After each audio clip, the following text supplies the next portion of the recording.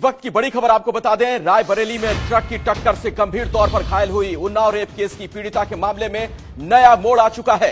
हादसे के दौरान पीड़िता के साथ सुरक्षाकर्मी नहीं थे। एसपी ने बताया कि पीड़िता को तीन सुरक्षाकर्मी दिए गए थे, जिसमें महिला और एक पुरुष कांस्टेबल थे। उधर पीड़िता की बहन ने यह इल्ज़ाम लगाया कि विधायक के समर्थक लगातार समझौते के लिए दबाव बना रहे थे। केस में पैरवी कर रही चाची को जान से मारने की धमकी दी जा रही थी। गाँव के तीन युवकों पर डराने और धमकाने का आरोप लगाया गया है। अपने दर्शकों को यह बता दें कि उन्नाव रेप पीड़िता को आज रायबरेली में ट्रक ने टक्कर मारी थी। हादसे के बाद पीड़ित और वकील की हालत बहुत गंभीर बनी हुई है।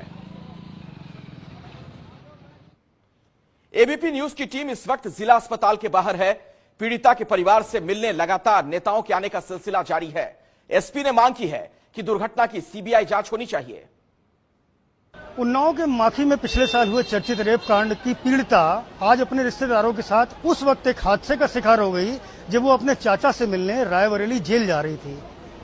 इस हादसे में पीड़िता की चाची और मौसी की मौत हो चुकी है, जबकि उनके साथ गए वकील महेंद्र सिंह का उपचार लखनऊ के स्ट्रॉमा सेंटर में किया जा रहा है। आपको बता दें कि उन्नाव के माखी में पिछले साल एक चर्चित रेपकांड का मामला सामने आया था, जिसमें स्थानीय विधायक कुलदीप सिंह सेंगर समेत तमाम लोगों पर आरोप लगे थे। इस मामले में विधायक कुलदीप सिंह को जेल जाना पड़ा था और फ़िलहाल वो अभी जेल में ही है। बाद में इस चर्चित मामले की जाँच सीबीआई को सौंप दी गई थी। कुछ दिन पहले ही सीबीआई ने इस मामले में अपनी चार्जशीट दाखिल की है और आज दोपहर रेप पीड़िता अपने चाची और मौसी के अलावा अपने वकील के साथ जेल में मिलाई करने जा रही थी। करीब दोपहर साढ़े बारह बजे के आसपास एक दुर्घटना होती है जिसमें उनकी गाड़ी एक ट्रक से भिड़ जाती है। पुलिस मामले की जाँच कर रही है और आईजी जो लखनऊ जोन के हैं, उन्होंने एक टीम भी भेजी है ट्रक ड्राइवर और ट्रक को पुलिस ने पकड़ लिया है और जाँच किया जा रहा है कि आखिरकार ये एक घटना है या फिर एक साजिश। समाजवादी पार्टी के एमएलसी सुनील सिंह साजन अभी अभी उन्नाव रेप पीड़िता से मिलकर आए हैं उनका हालचाल लेकर के आए हैं। बात करते हैं। सुनील भाई क्या जानकारी मिल रही है? क्या परिवार के लोग बता पा रहे हैं? देखिए अभी तो सब परेशान हैं क्योंकि जो रेप पीड़िता थी उसकी चाची उसकी मौसी इस घट, दुर्घटना में नहीं रही। रेप पीड़िता खुद बहुत गंभीर है, सीरियस है। डॉक्टर देख रहे हैं, हम लोगों ने देखा। जो उनके वकील थे, वो भी बहुत सीरियस हैं। तो समाजवादी पार्टी के माननीय राष्ट्रीय अध्यक्ष जी ने हम तीन साथियों को भेजा है।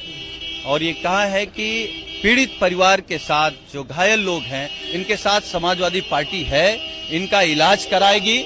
और समाजवादी पार्टी का मानना है कि इस घटना में भी सीबीआई जाँच होनी चाहिए। सौ तरीके के सवाल खड़े हो रहे हैं। तो वो जो सवाल खड़े हो रहे हैं तो इस घटना की भी सीबीआई जाँच हो। आपको क्या लगता है ये एक सामान्य हादसा है या फिर कोई साजिश की भी संभावना है? देखिए मैं कह रहा हूँ कि अगर समाजवादी पार्टी ये मांग कर रही है कि सीबीआई जाँच होनी चाहिए सीबीआई जाँच हो जाएगी सारी चीज़ें साफ़ हो जाएँगी। बहुत शुक्रिया हमसे बात करने के लिए। सुनील सिंह साजन थे जिनका ये कहना है कि समाजवादी पार्टी इस पूरे घटनाक्रम की सीबीआई जाँच की मांग करती है क्योंकि एक सामान्य घटना नहीं है। रेप पीड़िता की बहन ने आरोप लगाया कि उन्हें लंबे वक्त से तंग किया जा रहा है। इतना ही नहीं परिवार को जान से मारने की धमकी भी मिली थी। अकेले तभी इनके आदमी पीछा कर रहे थे मेरा। नबीन है नबीन और चाची को मेरी धमकी भी मिली थी। लड़का है दुई जने। ये सब वहाँ पर लग जाते हैं भैया आफत कर देते हैं। मुँह बात बाँध करके नवीन जो है ना और चाची को मेरी धमकी भी देते हैं। इसको ऊपर पहुँचा दो पैर भी करने वाला कोई न रह जाए।